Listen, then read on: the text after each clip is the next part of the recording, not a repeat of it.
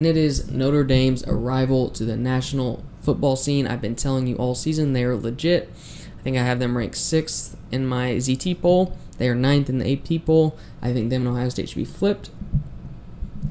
And I have Notre Dame over Ohio State. It's just as simple as that. They're wearing the green uniforms, gold helmets. I mean, South Bend is going to be rocking. The green uniforms, very slick. Probably top 10 in college football.